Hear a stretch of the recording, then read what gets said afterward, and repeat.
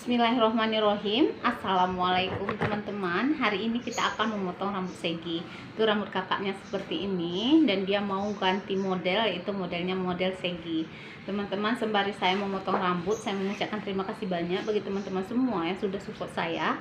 Bagi teman-teman semua yang sudah subscribe channel saya Semoga Allah membalas kebaikan kalian semua. Yang belum subscribe teman-teman mohon dukungannya Supaya channel ini berkembang. Pojok sebelah kanan ada tombol subscribe. Jangan lupa aktifkan notifikasinya. Subscribe itu gratis dan tidak dipungut biaya, teman-teman. Langsung saja ya, kita bagi saja menjadi tiga bagian seperti ini. Teman-teman bisa lihat tuh, lihat ya. Itu ada penampakan saya di cermin. kita ambil dari bawah. Seperti ini, teman-teman. Lalu kita jepit. Ini mudah, gampang sekali ya. Tidak ada yang susah. Saya dekatkan kameranya agar teman-teman bisa lihat dengan jelas itu jangan lupa menggunakan air fungsi dari air ini supaya rambutnya ini rapi ya. Tuh lihat ambil seperti ini bagi menjadi dua. Karena pemotongannya ini sedang jadi kita potongnya sedang saja teman-teman. Seperti ini potong saja dari bawah ke atas. Atau dari atas ke bawah juga boleh tergantung kebiasaan kita masing-masing. Ambil lagi lalu potong saja. Tuh nanti dia akan membentuk segi ya nampak dari kamera. Terus kita turunkan kembali untuk penurunan rambut itu tergantung pada jenis rambut ya teman-teman. Ya. maksudnya lebat atau tidaknya rambut tersebut. Ambil lagi seperti tadi karena ini bentuknya segi jadi kita ambil saja seperti ini teman-teman. Mudah ya teman-temannya gampang apabila niat kita itu mau belajar ya. Turunkan kembali sama seperti tadi mudah ya teman-teman ya tidak ada yang susah. Jepit kembali.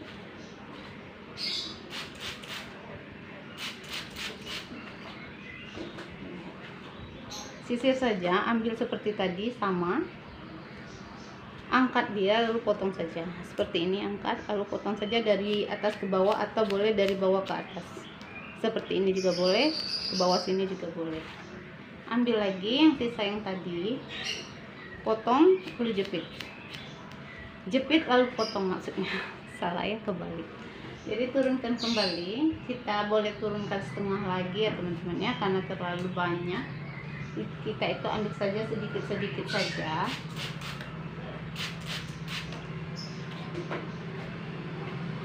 Ambil seperti ini teman-teman. Lihat. Cara saya pengambilannya mudah ya. Lalu potong saja dia ambil lagi. Seperti ini lalu potong saja. Tuh kan sudah selesai untuk bagian yang belakang. Tinggal tinggal sisa sedikit lagi. Itu lakukan hal yang sama seperti tadi. Tuh lihat teman-teman sudah melihat ya? Bentuk saya sudah membentuk segi. Mudah sekali teman-teman. Nah ini untuk bagian finishing ya. Finishing bagian belakang itu ambil seperti tadi. Boleh seperti ini potong saja dari atas ke bawah. Ambil lagi teman-teman. Dari atas ke bawah. Oh, dia sudah membentuk segi yang cantik. Nah, untuk bagian depan sebelah kanan bagi saja menjadi dua bagian seperti ini. Jangan lupa pakai air ya kenapa saya selalu memakai air? Karena ini untuk perapian rambut teman-teman. Jadi ambil semua saja. Itu jangan ragu.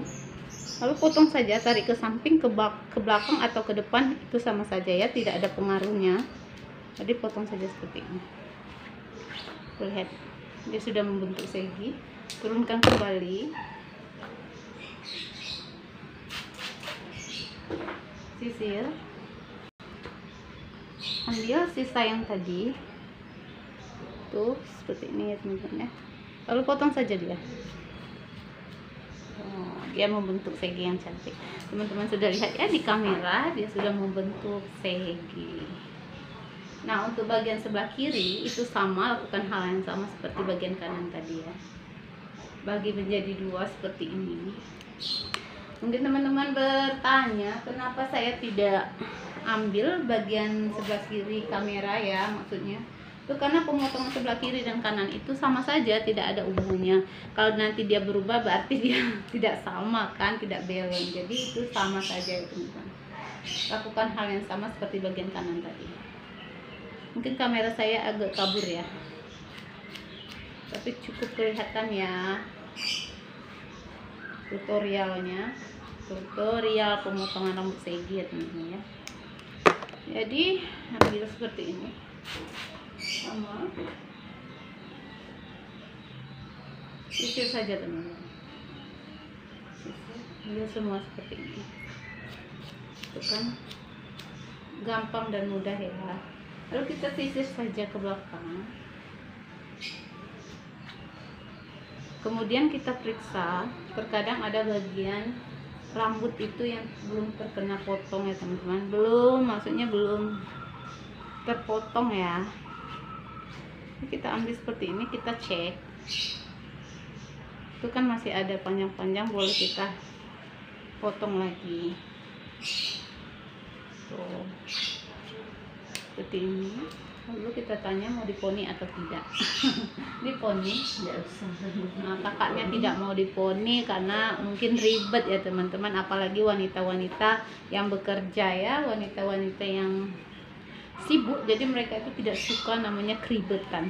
Nah, sebelum selesai kita cek dulu kita buka kitnya seperti ini. Ini biasakan ya teman-teman. Karena terkadang ada rambut-rambut yang belum terkena potong atau belum terkena gunting ya. Tuh lihat tuh masih ada ya. Jadi kita potong saja seperti ini.